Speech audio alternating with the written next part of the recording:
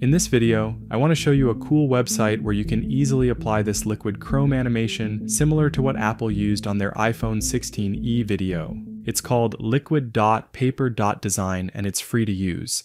On the main page, you can pick a popular logo here at the bottom, pick one of the background color presets or add a custom one, and then use these sliders to control the effect. It has a lot of advanced settings, so let's try them out. Dispersion controls how colorful the liquid animation is, then you can choose to add more depth to the edges of the logo, or you can blur out the lines to smoothen out the animation. Liquify pretty much determines how random the lines are, while speed is pretty self-explanatory. For pattern scale, you can choose the size of the area where the liquid animation takes place. Additionally, you can click on Upload Image to add your own logo. For that, a high quality version or SVG is recommended to get the best results. This is how our logo looks like with the effect applied.